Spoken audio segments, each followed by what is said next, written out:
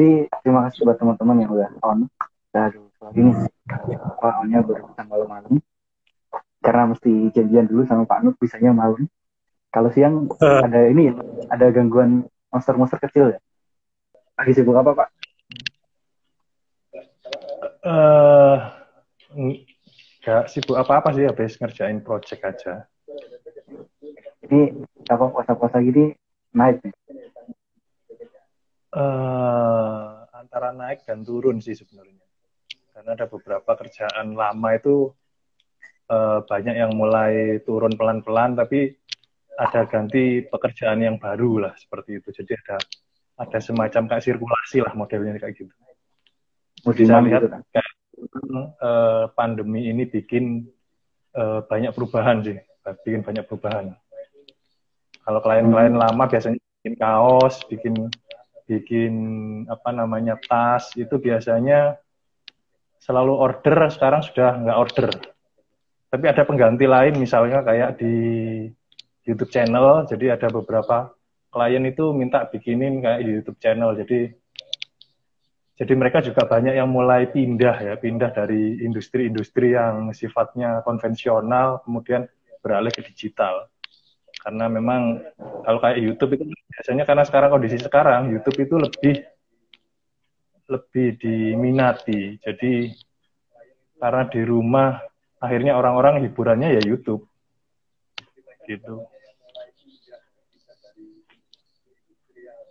Oke, nganu langsung Pak ya. Kita bahas-bahas topik yang kemarin apa uh, teman-teman kirim ya. Iya, iya, iya. Ya. Jadi, aduh, kita mulai dari mana lagi ya? Bentar, saya buka catatan dulu. Oke. Oke, jadi pertanyaan ini kan ini intronya kan tentang CMYK nih. Jadi apa sih Eh, kendala-kendala teman-teman yang misalkan kerja pakai aplikasi open source harus ber, biasanya berhubungan dengan urusan cetak mencetak dan mau nggak mau harus urusan dengan CMYK kendalanya apa aja terus mungkin ada hal yang belum dipahami tentang CMYK ditanyakan jadi kemarin udah ada beberapa teman-teman di ini uh, Instagram yang nitip pertanyaan. Yang pertama dari jejak Jejakrin Jejakrin sebenarnya CMYK itu apa sih? Ngaruhnya apa sama karya? Sebenarnya uh, eh, CMYK itu yang penting yang harus dipahami pertama apa sih perbedaan antara CMYK dan RGB sih sebenarnya. Jadi kalau kita ngomong masalah karya dalam bentuk analog dan dalam bentuk digital itu pasti memiliki perbedaan, memiliki perbedaan. Salah satu perbedaannya adalah dari segi mode warna. Nah, kalau kita ngomongin RGB sama CMYK, ketika kita ngomong di dunia digital, itu pasti mereka larinya ke RGB. Sedangkan kalau untuk uh, dunia cetak, itu pas, mereka pasti larinya ke CMYK. Seperti itu. Jadi kalau kalau kita ngomong color mode ya, kalau kita ngomong color mode, jadi perbedaannya di situ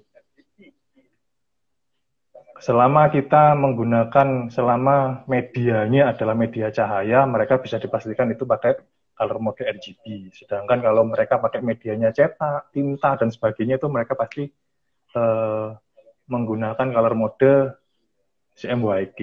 Jadi kita harus tahu perbedaannya di situ dulu sebenarnya.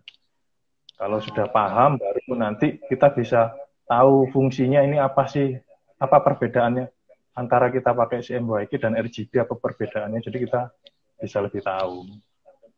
Nah, oh. RGB kita ngomong RGB, RGB itu kan ditampilkan dari cahaya.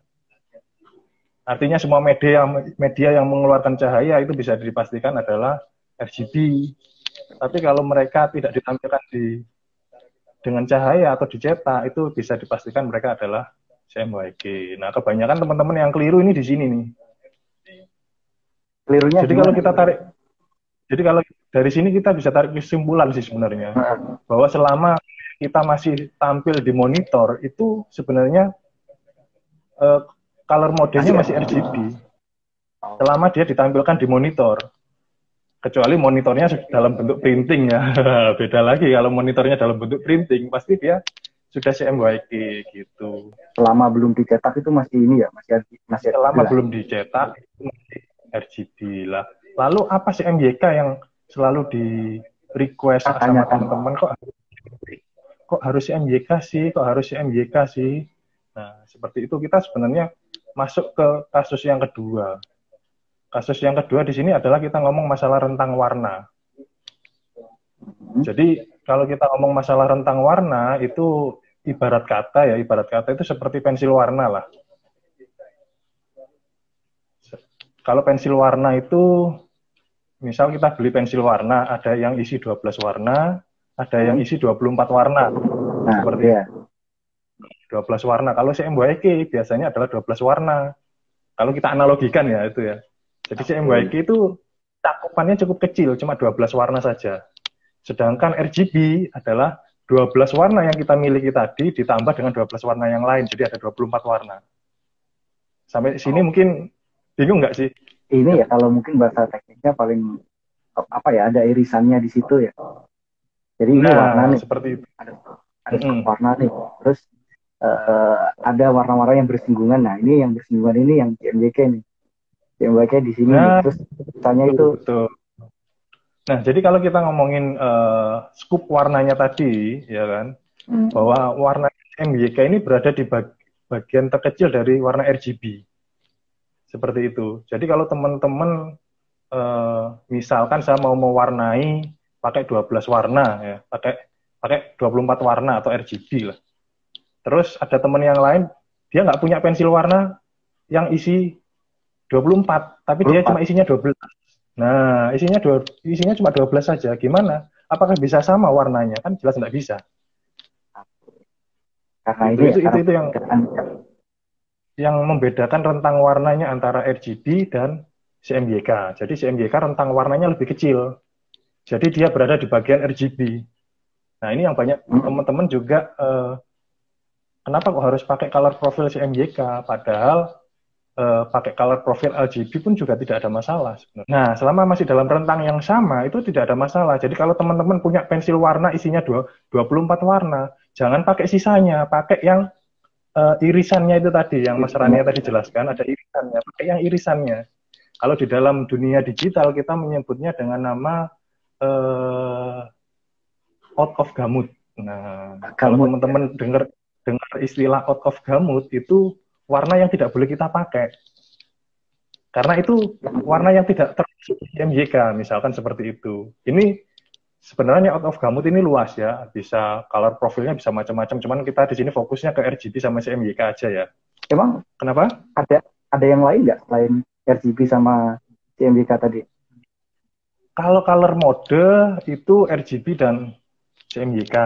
Tapi oh, kalau color kalau, profil ini uh, bisa lebih banyak. Color profil ini seperti uh, penyimpanan warnanya lah. Oh. Jadi seperti kotak pensilnya. Seperti pensil, nah, kotak pensilnya ini bisa mencakup berapa warna di dalamnya. Ada 10, hmm. ada 12, ada 50. Tapi kalau pemetaannya lebih ke RGB sama CMYK lah. Di dalam RGB ada color profil color profil yang isinya ini bermacam-macam ada Photo Pro, ada sRGB, ada RGB, yang rentang warnanya juga nggak sama. Uh, bisa nggak, misalkan saya nyebut kalau warna kalau warna CMYK itu pasti ada RGB-nya. Kalau RGB belum tentu ada CMYK-nya. Terbalik malahan. Eh, eh sorry. Kalau warna CMYK pasti ada RGB-nya. Tapi kalau RGB belum tentu ada CMYK-nya. Nah, terbalik, terbalik. Loh, gimana, kalau gimana? RGB RGB sudah pasti ada CMYK-nya. RGB sudah pasti ada CMYK-nya, oke. Okay. Kalau CMYK, uh, CMYK kan bagian RGB. Iya, makanya loh. Kembali dong. Kecil dari buktinya. Kan CMYK kebalik ya, kebalik ya. Iya, kebalik. Kalau Jadi CMYK ini bagian terkecil dari RGB. Kalau RGB iya. sekian ya, Ya. CMYK itu cuma sekian di dalamnya. Ada di dalam, ada di bagian dari RGB. Gimana jelasinnya itu? Ya, kalau tadi saya bilang kan, uh, kalau ada RGB udah pasti ada CMYK karena, uh, eh, hmm. kalau ada CMYK pasti ada RGB-nya karena CMYK tadi bagian dari RGB. Uh, uh, betul, seperti itulah. Tapi kalau RGB kan karena skopnya lebih gede, belum tentu ada CMYK-nya kan. Enggak Kalau juga RGB sih. lebih gede. Oh, ya juga. Tapi yang Gimana jelas bagiannya RGB-nya, jadi nggak seperti itu. Dia berada di Berarti bagian RGB sehingga lebih kecil dia range-nya. Jadi di dalam warna RGB sudah pasti ada warna CMYK. Gitu loh. Tapi di warna CMYK belum tentu ada warna RGB yang di luar dia miliki tadi. Karena dia Kan cakupannya saya cuma kecil, begitu, Pak. Kan tadi saya bilang 12 gitu. gitu ya. Gitu ya maksudnya. Iya. Oke, berarti ini tadi kan ada pertanyaan lanjutannya kan. Terus ngaruhnya apaan sih sama karya? Nah, pengaruhnya ini tadi ketika teman-teman sudah eh, melakukan proses cetak, sedangkan teman-teman pakai warna yang di luar warna RGB, di luar warna CMYK, nanti pasti akan dikonversi, akan berubah warna. Pasti akan berubah warna. Jadi kalau misalkan teman-teman, saya di CMYK punya warnanya merah, di RGB ada merah marun lah. Di CMYK kan kan nggak ada warna merah marun. Ini nanti gimana caranya? Kan otomatis harus pakai warna merah yang ada di situ. Otomatis warna merah marunnya akan berubah. Kalau Itu pakai analogi yang dikonversi. pensil, Bakal, eh, analogi pensil warna Nah, tadi kan pakai mau analogi nggak mau pensil mesti warna pakai tadi. warna tadi kan ya, warna yang ada lah, merah yang ada. Ya, itulah kenapa eh, perbedaannya di situ sih. Jadi sebenarnya convert kalau misalkan kita convert apa ya? eh color prof- color profile itu sebenarnya nggak ngaruh juga kan ya. Selama warnanya masih di luar kan juga tetap nggak akan nggak akan kecetak dengan sempurna kan. Betul, betul. Jadi Nah, kalau kita ngomong color profile tadi, kalau color profile sebenarnya dari awal memang fungsinya sebagai simulasi sih untuk menunjukkan kepada kita bahwa warnanya ini ini loh. Terus ah ini nih ada yang dari Playboy ID. Bisa nih eh, kok bisa beda hasil ekspornya pas turun cetak? Kayak kontrasnya turun. Cetak kenapa kok bisa sampai warnanya berbeda selain dari masalah pemilihan eh, rentang warna tadi ada eh, kalibrasi monitor misalkan monitornya tempat cetak sama monitor tempat kita warnanya nggak sama itu salah satu faktor yang pertama. ngomongin ini ya kalau kalau kalau profilnya nggak sama yang dipakai ya? Ka- kalau bukan hanya kalau ya bisa jadi color profilnya tidak sama bisa jadi Hmm. juga karena monitornya eh, warnanya sudah tidak akurat lagi.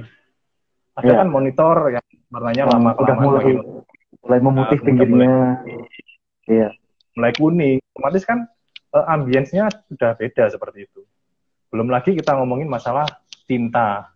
tinta Tinta ketika di tintanya misal kita ambil merek Canon sama Epson, meskipun sama-sama CMYK tapi ketika dicetak hasilnya kan nggak sama. karena kepekatannya beda Itu- juga ya Kepekatannya beda. Setiap merek pasti beda warna. Belum lagi print, eh, printernya sendiri. Kalau profil yang mereka gunakan kan nggak sama antara satu satu dengan yang lain. Kertas, pakai kertas HVS sama pakai kertas art paper, warnanya pasti beda. Belum lagi pakai kertas buram misalkan. Terus kertas buffalo atau kertas yang lain lah misalkan. Itu pasti hasilnya nggak akan sama. Gitu. nah terus eh, dari- apa cara Pak Nuh buat ngatasin hal yang kayak gitu gimana tuh Pak misal ada ada orderan nih bikin banner itu gimana tuh cara ngatasinnya biar biar ya mungkin nggak sama ya cuman lebih deket lah warnanya dengan yang kita harapkan Ya, kalau saya sih umumnya umumnya yang saya gunakan biasanya saya datang ke percetakan satu, saya nyoba ngeprint satu buah di sana. Hmm. Nanti hasilnya akan saya bawa pulang. Lalu saya samakan dengan di monitor. Itu cetak lab, cetak print, digital printing, offset dan sebagainya mesti saya menggunakan cara tersebut. jadi mak mesti di apa istilahnya kalibrasi manual ya ngecek di sana Kalibrasi kualitas manual. Dan di Ya masing-masing di, di tempat saya sih percetakan itu selalu ngasih color profil. Ini pakai color profil ini loh mas. Dikasih tahu. Jadi kita links yang dipakai apa mereka kasih tahu gitu. Jadi sampai pakai color profil A misalkan. Tapi di luar itu mereka juga kasih eh, biasanya kasih sampel sampel kalibrasi biasanya. Biasanya kalau cetak lab sih, biasanya kalau cetak lab, kalau cetak kayak offset sama cetak digital printing jarang saya nemui mereka kasih kita sampel kalibrasi. Itu cocoknya manual, ditempelin ke Bener, yang cokinnya manual dan pasti pasti jauh banget. Kita ngomongin gamanya harus diatur, ngomongin kontrasnya juga harus diatur, terus brightness-nya juga harus diatur. Entah itu lewat monitor atau lewat software. Kalau di Linux biasanya kita pakai terminal sih. Oh, ntar boleh deh di uh, apa uh, script atau cara di terminalnya dibagiin boleh deh. Entah ke grup, entah oh, iya, ke mana iya. gitu di catatan. Biasanya waktu habis desain di Inkscape hasil uh, hasilnya RGB belum ke CMYK. Ada tips nggak, Bin? Nah, itu tadi uh, di Inkscape uh, ada yang namanya uh, soft proofing, Mas. Ada namanya soft proof, soft proofing. Jadi soft proofing ini tadi seperti yang saya jelaskan tadi bahwa uh, teknik ini untuk memberitahu kita bahwa warna yang kita pakai ini di luar rentang warnanya CMYK. Nanti mereka akan ngasih informasi ke kita, warnanya akan berubah seperti itu. Jadi warna itu jangan kita pakai. Nah, warna itu jangan kita pakai, kita pakai warna uh, yang mendekati seperti itu. Jadi ada namanya tekniknya namanya soft proofing. Itu ada fiturnya di Inkscape ya? Di, di Inkscape ada fiturnya, bahkan di di hampir semua aplikasi memiliki fitur tersebut. Inkscape uh, aksesnya dari mana? Akses di Inkscape ada di preference, ada di preference. Uh, berarti sebenarnya nggak ini ya, nggak bisa ya langsung kita desain uh, random nih, milih warna random. Terus kita ekspor gitu aja. Sebenarnya nggak akan bisa maksimal ya kalau nggak kita cek. Benar, benar, benar. Jadi bahkan sekelas Adobe pun Adobe ya, Adobe di situs resminya itu sudah mengingatkan kepada para desainernya untuk uh, menggunakan teknik soft proofing daripada menggunakan color mode. Kenapa? Kalau kita menggunakan color mode itu banyak fitur-fitur yang tidak bisa kepakai di situ. Itu di situsnya Adobe sendiri ya. Jadi mereka menyarankan untuk menggunakan soft proofing. Kenapa soft proofing? Karena kalau kita salah ganti color profile itu uh, nanti akan berubah warna juga, gitu loh. Jadi kita pakai warna yang pakemnya CMYK sendiri ini ini loh, gitu. Jadi jangan pakai warna di luar itu, gitu. Jadi, emang... Jadi kalau kita langsung pengen langsung sebenarnya bisa ada pakai software lain sih. Kita bisa pakai Krita dan hmm. sebagainya kita masih bisa pakai gitu. Mungkin next akan kasih videonya deh biar teman-teman bisa lebih jelas perbedaannya ya. Mantap. Kalau ada yang lainnya juga nih. Yang tadi tuh pertanyaan dari ini ya Ivan Fananim yang tadi. Terus ini ada hijrah desain underscore uh, kisaran ekspor CMYK di Inkscape gimana Min? Terus ada juga yang, yang ekspor uh, ekspor gambar CMYK dari Inkscape. Ada juga yang nanya dari underscore Ideal Hakim underscore masih bingung konversi warna ke CMYK tanpa bantuan tanpa bantuan software lain khususnya di Inkscape. Nah itu tadi uh, kembali lagi ke yang tadi sudah saya jelaskan tadi bahwa teknik yang kita yang digunakan adalah teknik soft proofing namanya itu tadi. Nah, soft proofing ini tadi kita tidak menggunakan warna uh, di luar di luar rentang warnanya CMYK. Jadi di di luar out of gamut ini jangan dipakai. Jadi kita tetap pakai warna CMYK tapi di dalamnya sehingga ketika dikonversi uh, apa namanya color profile mana pun dia tidak akan berubah gitu. Iya, yang Mas Arya tadi ya, yang masuk warna ke-12 lah di 12 warna tadi. Berarti ini nah, dong sebenarnya. Seperti itu. Sebenarnya ini ya e, mau pakai software apa pun asalkan scope warnanya bener nggak ada masalah ya. Iya, iya. Jadi kalau kita pakai rentang warna yang benar, rentang warnanya CMYK, itu tidak ada masalah meskipun color profil yang digunakan bukan CMYK. Karena kebanyakan kalau kita ngomongin JPEG, pasti color profil yang digunakan adalah CMYK seperti itu. Iya. Meskipun kita nggak pakai CMYK, tetap aja uh, sebenarnya yang ditampilkan tetap RGB juga kok, gitu loh. Iya, ya kan? Iya. iya yang ditampilkan itu kan cuma simulasinya aja gitu loh. Yang kalau profil yang mereka munculin sebenarnya cuma simulasi aja bahwa ini nanti kalau dicetak warnanya seperti ini, gitu. tetap yang muncul tetap RGB kan? Tapi kenapa ini ya? Uh, uh, CMYK tadi itu nggak ini ya nggak nggak bisa dipakai di PNG ya? Uh, ada penjelasannya nggak? Kak kalau saya sendiri kurang tahu cuman pernah baca pernah baca bahwa PNG memang uh, khusus untuk web khusus untuk web bukan untuk cetak sih. Bukan khusus untuk oh. cetak. Tapi kalau kita cetak pakai warna PNG pakai PNG juga nggak ada masalah loh. Selama kita tahu iya. rentang warna yang kita gunakan gitu loh. Jadi itu dulu sempat saya pas masih ini ya masih awal-awal ya. Saya dulu aduh tapi filenya udah udah nggak tahu ke mana tuh. Jadi ada palet yang khusus istilahnya ya kayak pal, uh, palet warna CMBK nih. Jadi warna-warnanya yang warna-warna yang tanda kutip udah aman lah ya. Udah masuk ke 12 tadi. Nah saya gambar pakai itu biasa. Terus saya cetak PNG buat bikin banner. Yang nggak ada masalah sebenarnya sih. Yang meleset-meleset dikit pasti ada lah. Cuman nggak akan kentara banget. Karena faktor mungkin faktor tinta tadi juga ya. Jadi waktu itu sempat mikir uh, katanya PNG itu nggak buat cetak tapi ini aman-aman aja. Ternyata jawabannya karena ini ya karena mungkin masuk udah masuk ke warna yang inilah yang uh, udah masuk kategori warna yang CMBK tadi ya ya seperti itu jadi selama desain yang kita gunakan tadi masih warnanya berada di skup warna CMYK nggak akan nggak akan melesetnya nggak nggak bakalan jauh Cuman melesetnya memang dari segi tinta, dari segi kertas itu pasti ada. Cuman nggak terlalu range-nya nggak terlalu jauh lah. Kita nyetak di uh, percetakan satu dengan percetakan lain pasti warnanya juga nggak sama kok. Ya, dengan pasti, catatan iya. ini digital printing ya, digital printing kecuali kalau digital kalau offset mungkin masih masih ini. Tapi kalau digital printing sekarang rata-rata pakai digital printing semua kok. Hmm.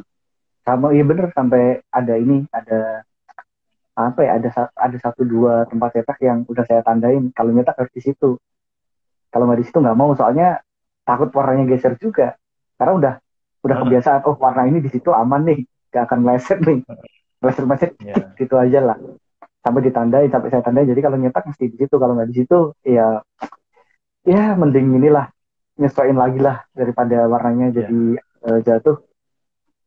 Ada pertanyaan lagi nggak oh ada. Masih bingung. Oh tadi udah. Terus dari brand Hana Fajri. Kalau nggak salah di Inkscape walau di set di CMYK tapi hasil ekspornya tetap RGB apa benar? Ini jawabannya udah udah terjawab sih di awal tadi ya jadi pokoknya selama oh, betul, masih betul. dimonitor selama masih dimonitor nih ya kecuali monitor anda terbuat dari uh, kertas print kertas printing nah Jadi selama gambar masih ada di monitor, belum dicetak, itu masih pasti RGB. Meskipun udah ditulis CMYK pun itu sebenarnya hanya simulasi. Simulasi dari uh, warna-warna CMYK yang ditampilkan dengan RGB. Uh, eh, ya tadi sih, kecuali monitor Anda terbuat dari kertas cetak, nah itu udah lain lagi, Mbak. Uh, Anda belum tahu, malam belum nemu cara ekspor CMYK dan JPG di Inkscape. Ini beda kasus ya, ekspor CMYK dan ekspor JPG ya. Kalau ekspor JPG itu di Inkscape ada banyak cara kan Pak sekarang ya? Hmm, hmm, hmm. Kalau ada kemarin yang... uh, ada ada pakai importer itu bisa ekspor ke JPG yang terbaru ya bisa ya? Bisa bisa. Terus uh, sebenarnya ada PNG udah udah bagus sih. Saya saya malah rekomendasi pakai PNG. Kenapa? Karena filenya lebih lebih rapet sih kalau saya bilang lebih uh, tidak tidak warnanya tidak pecah bukan bukan pecah dalam arti resolusinya ya bukan arti tapi warnanya tidak tidak semburat pecah solid. kalau JPG kan uh, solid bener kalau warnanya solid dia bener-bener solid yang merah merah betul tidak ada percikan warna lain di di kalau JPG kan ada percikan-percikan warna lain ya meskipun ya, itu warna solid ada. merah kan ada uh, iya. tapi kalau PNG ada, enggak PNG enggak enggak ada masalah. Saya selalu dari tahun 2013 saya cetak itu ukuran ya ukuran segede gaban pun nggak ada masalah pakai PNG. Saya selalu, selalu pakai PNG kok. Nggak pernah pakai SVG, nggak pernah saya pakai SVG. PNG semua. Kenapa? Karena kalau pakai SVG kadang-kadang masih ada misal di percetakan kegeser sedikit objeknya bisa pengaruh ke hasil cetak.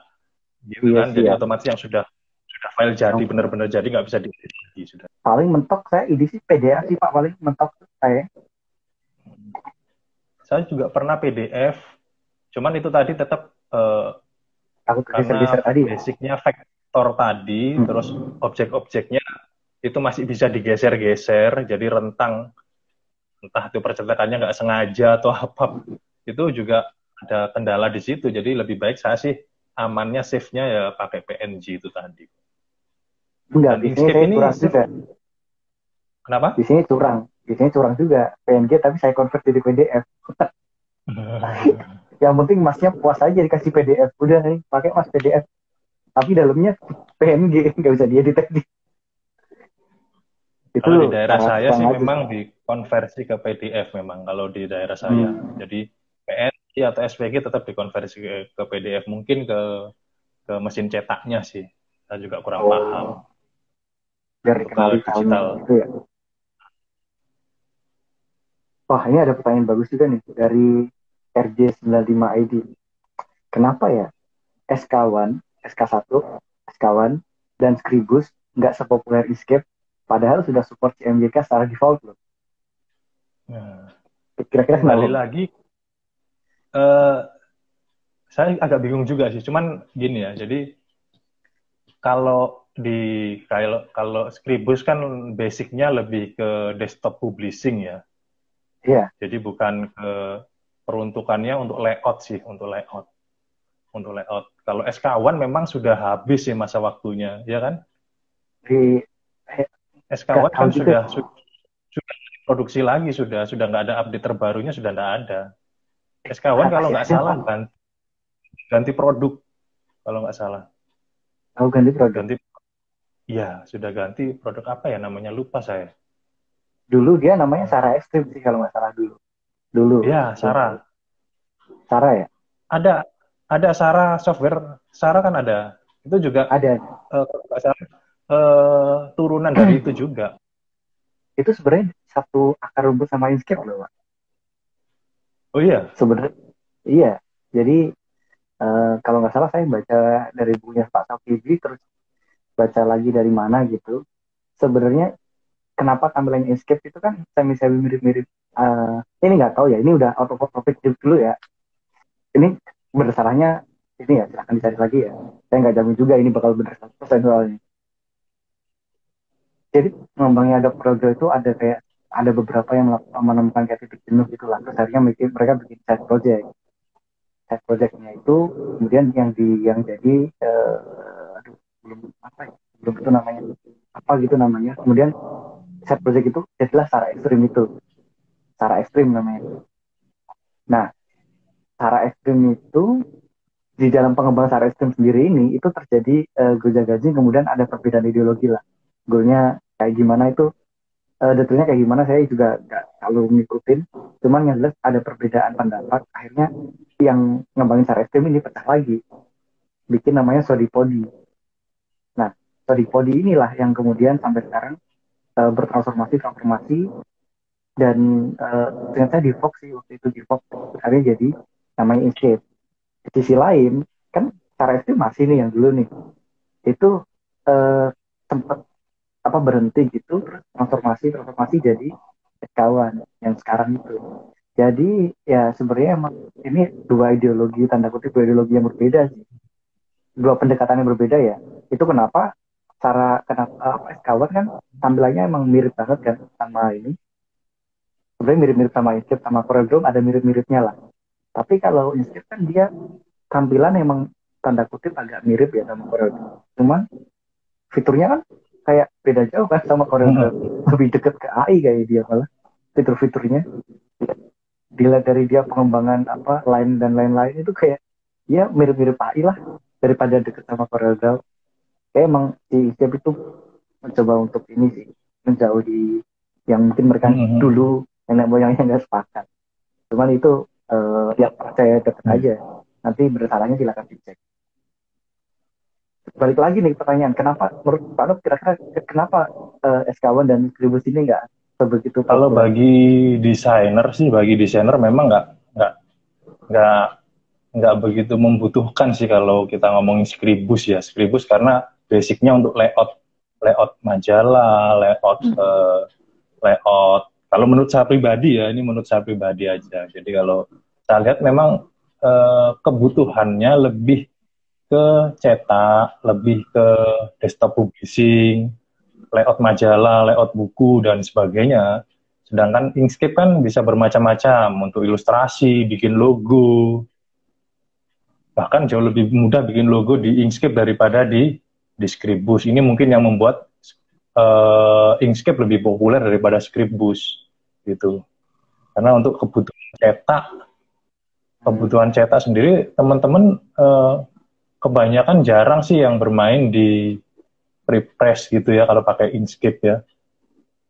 Jadi kalau biasanya kalau saya sih saya dulu biasanya kan hmm. uh, kepercetakan itu sebelum kita ngomongin digital printing kan ada namanya offset ya. Kalau cetak offset kan kita harus bikin platnya dulu, ya kan? Pecah warna dulu. Hmm. Itu kenapa kalau bikin? Ah, kalau bikin, kalau bikin lebih mahal gara-gara ya, gitu ya? Mahal kenapa? Karena Nanggung mereka harus bikin harus pecah warna dahulu kan harus dipecah dulu. Habis dipecah warna dicetak ke apa namanya uh, plat seng ya kan plat seng habis plat nanti uh, mereka hmm. mulai campur warna misalkan CM ada empat warna kan yang dipakai CM YK seperti itu lah ini nyetaknya kan nggak bisa bareng langsung harus satu-satu dulu sayen dulu ya sayen sampai satu rem misalkan satu rem selesai baru masuk ke apa namanya yellow Ya, yellownya selesai baru. Yellownya. Nah, sampai selesai seperti Dan, ini belum lagi nanti kalau bolak-balik. belum kalau bolak-balik kan butuh waktu lagi gitu loh. Nah,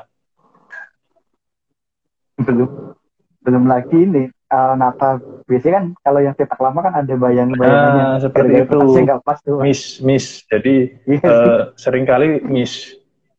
Kalau di cetak ya, digital, digital printing, nggak akan terjadi hal-hal kayak gitu karena sudah langsung jadi satu.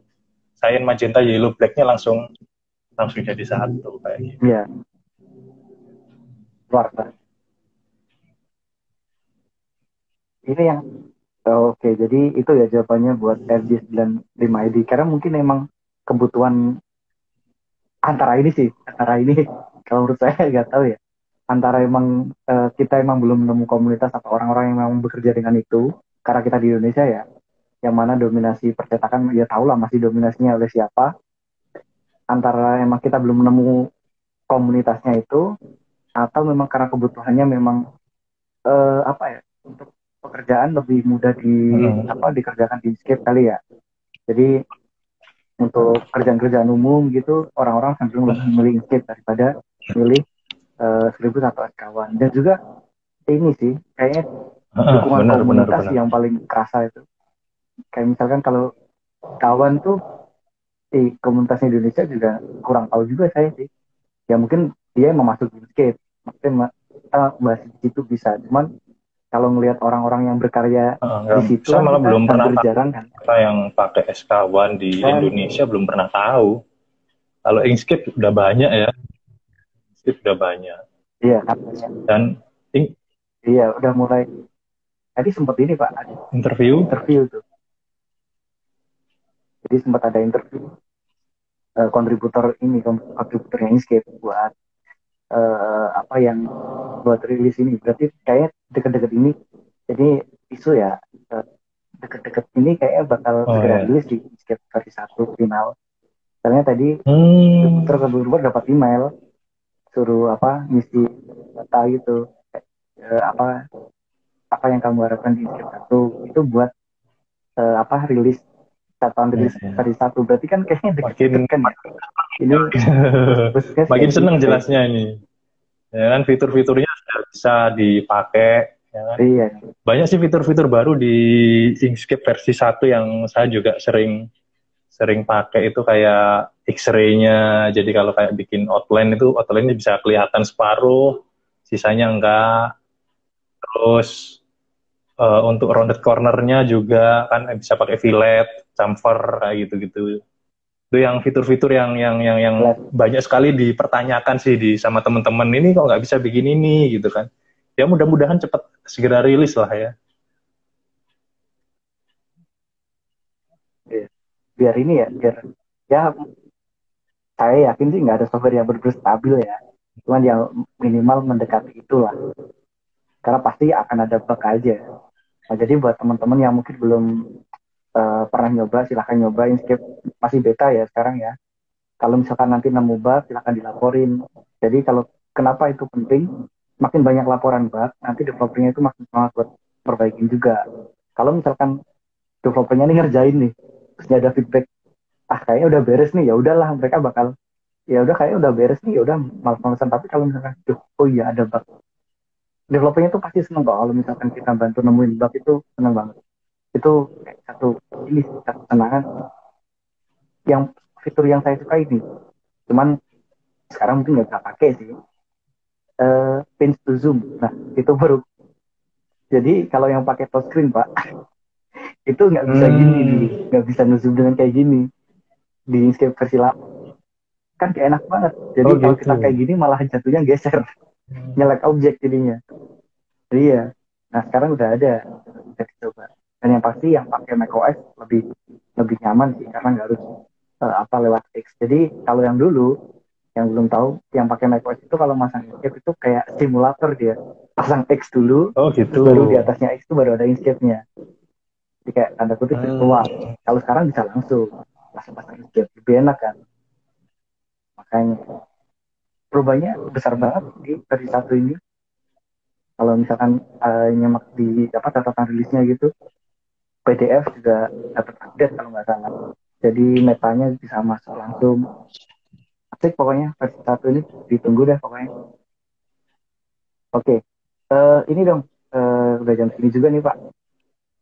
Kasihan anak yang ini yang mau nidurin anak-anaknya ntar juga. Uh, apa kasih ini dong uh, kayak ya, kata-kata penutupnya. Tentang apa ya tadi yang kita bahas? Iya, tadi kan kita udah bahas nih banyak. Uh, tadi yang tadi yang pertama nih ya selama masih ditampilkan di layar itu berarti udah pasti belum belum CMYK murni lah hanya hanya preview bener ya? Terus eh, sebenarnya tanpa perlu apa aplikasi tambahan pun selama kita memahami anu kok dia aja selama kita memahami apa konsep warna dan eh, apa skup warna tadi sebenarnya tanpa aplikasi pun kita bisa dengan aman-aman aja nyetak selama eh, warna yang dipilih adalah masih di grup yang CMDK itu tadi karena kayak gitu sih yang, yang paling poin paling penting ya jadi jangan terkecoh dengan istilah-istilah wah ini hmm. nggak hmm. CMYK nih ini PNG nih nggak terkecoh kayak gitu lagi. Semoga. Soalnya mulai saya pribadi mulai jenuh pak di grup. Pertanyaannya itu terus ya. selalu aja. Jadi kalau iya kan ya? dari saya sebenarnya sih sederhana ya, ya bahwa uh, yang penting kita harus memahami tools yang kita gunakan itu apa sih gitu. Jadi kalau kita sudah memahami bahkan mengerti konsep dasarnya itu saya rasa semua jadi lebih mudah. Kalau kita belum memahami konsep dasarnya itu akan sangat sulit banget tuh. Konsep dasar CMYK seperti apa, konsep dasar HGB seperti apa. Kalau kita belum memahami, kita nggak akan tahu solusinya. Tapi kalau kita sudah memahami, insya Allah pasti teman-teman lebih gampang sih. Gitu. Jadi sebisa mungkin pahami teknisnya dengan baik, pahami toolsnya dengan baik, alat-alat yang kalian gunakan. Meskipun alatnya sederhana, kalau kalian bisa menguasai dengan baik, pasti bisa kok saya aja pakai Inkscape tahun 2013. 2013 kerjaan saya hampir semuanya pakai Inkscape semua, pakai Gym, dan nggak ada kendala satu apa pun sih. Ya ada kendala, tapi kalau kita memahami lagi itu bakal ketemu. Kalau kita memahami konsepnya seperti ini bakalan ketemu kok. Gitu. Jadi yang penting pahami konsepnya dengan baik, pahami tools yang kalian gunakan dengan baik, dikuasai dengan sungguh-sungguh, maka nggak ada masalah sih saya rasa.